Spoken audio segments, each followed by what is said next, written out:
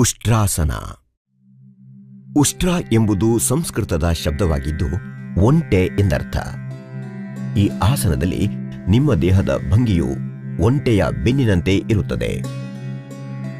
ಈ ಆಸನವನ್ನು ಮಾಡಲು ನೀವು ಮೊದಲು ವಜ್ರಾಸನ ಭಂಗಿಯನ್ನು ಮಾಡಬೇಕು. ಮಂಡಿಯ ಮೇಲೆ ಕೈಗಳನ್ನಿಡಿ, ತಲೆಯಿಂದ ಕಾಲಿನವರೆಗೆ ದೇಹ ಸಮತಟ್ಟಾಗಿರಲಿ.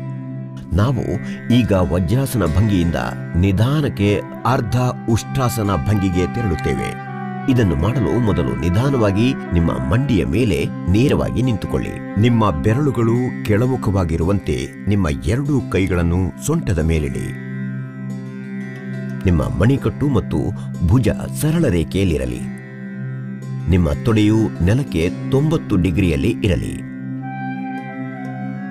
ನಿಧಾನವಾಗಿ ಉಸಿರಾಡುತ್ತಾ ನಿಮ್ಮ ಮಣಿಕಟ್ಟಿನ ಆರಂಭದಿಂದ ಹಿಂದಕ್ಕೆ ಬಾಗಿ.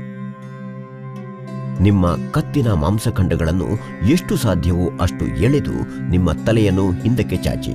ಈ ಆಸನವನ್ನು ಅರ್ಧ ಉಷ್ಟ್ರಾಸನ ಎಂದು ಕರೆಯಲಾಗುತ್ತದೆ.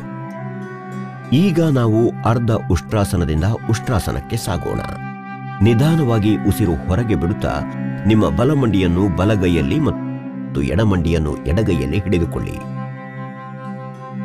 ಹಿಂದಕ್ಕೆ ಬಾಗುವಾಗ ನಿಮ್ಮ ಕತ್ತನ್ನು ಹಠಾತ್ತನೆ ಬಾಗಿಸಬೇಡಿ. ನಿಧಾನವಾಗಿ ಉಸಿರಾಡುತ್ತಾ ಹತ್ತರಿಂದ ಮೂವತ್ತು ಸೆಕೆಂಡುಗಳವರೆಗೆ ಇದೇ ಆಸನದಲ್ಲಿ ಇರಿ. ಉಷ್ಟ್ರಾಸನದಿಂದ ನಿಮ್ಮ ಬೆನ್ನು ಮತ್ತು ಕತ್ತಿನ ಮಾಂಸಖಂಡಗಳು ಗಟ್ಟಿಯಾಗುತ್ತವೆ. ಈ ಆಸನವು ನಿಮ್ಮ ತಲೆ ಮತ್ತು ಎದೆಗೆ ರಕ್ತ ಪರಿಚಲನೆಯನ್ನು ಸುಧಾರಿಸುತ್ತದೆ. ಈ ಆಸನ ಮಾಡುವುದರಿಂದ ನಿಮ್ಮ ದೃಷ್ಟಿಯು ಸುಧಾರಿಸುತ್ತದೆ.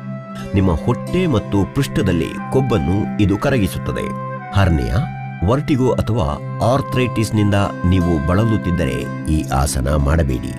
ಹೃದಯ ರೋಗಗಳು ಮತ್ತು ಅಧಿಕ ರಕ್ತದ ಒತ್ತಡವನ್ನು ಹೊಂದಿರುವ ರೋಗಿಗಳು ಈ ಆಸನ ಮಾಡುವುದರಿಂದ ದೂರವಿರಬೇಕು. ನೀವು ಹೊಟ್ಟೆಯಲ್ಲಿ ಗಾಯವನ್ನು ಹೊಂದಿದ್ದರೆ ಅಥವಾ ನೀವು ಗರ್ಭಿಣಿಯಾಗಿದ್ದರೆ ಈ ಆಸನ ಮಾಡುವುದರಿಂದ ದೂರವಿರಿ. ಈ ಭಂಗಿಯಲ್ಲಿ ಹತ್ತರಿಂದ ಮೂವತ್ತು ಸೆಕೆಂಡುಗಳವರೆಗೆ ಇರಿ. ಆಳವಾದ ಉಸಿರು ತೆಗೆದುಕೊಳ್ಳುತ್ತಾ ಸಾಮಾನ್ಯ ಸ್ಥಿತಿಗೆ ನಿಮ್ಮ ಕತ್ತು ಎತ್ತಿ. ಬೆನ್ನು ನೇರ ಮಾಡಿ ಮತ್ತು ವಜ್ರಾಸನ ಭಂಗಿಯಲ್ಲಿ ಮಂಡಿಯ ಮೇಲೆ ಕುಳಿತ ಸ್ಥಿತಿಗೆ ಬನ್ನಿ. ನಿಧಾನವಾಗಿ ಉಸಿರಾಡುತ್ತಾ ಇದೇ ಭಂಗಿಯಲ್ಲಿರಿ. ಉಷ್ಟ್ರಾಸನವನ್ನು ನಿಯತವಾಗಿ ಪ್ರಾಕ್ಟೀಸ್ ಮಾಡಿದರೆ ನಿಮ್ಮ ದೇಹದ ಹಲವು ರೋಗಗಳಿಗೆ ಕಾರಣವಾಗುವ ಮಲಬದ್ಧತೆ ನಿವಾರಣೆಯಾಗುತ್ತದೆ. ಒಟ್ಟಾರೆಯಾಗಿ ನಿಮಗೆ ಆರೋಗ್ಯಯುತ ಜೀವನ ನಡೆಸಲು ಅವಕಾಶ ನೀಡುತ್ತದೆ.